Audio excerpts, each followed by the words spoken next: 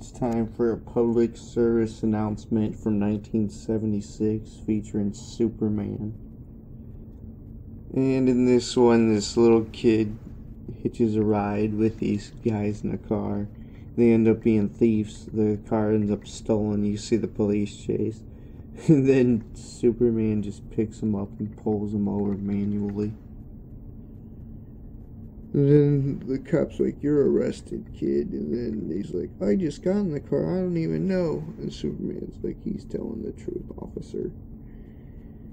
And then give Superman gives him his spiel. And he's like, Don't get into cars with strangers. They may be thieves or drunk or just pure bad drivers. They're like, This is a public service announcement published by National Periodical Publications.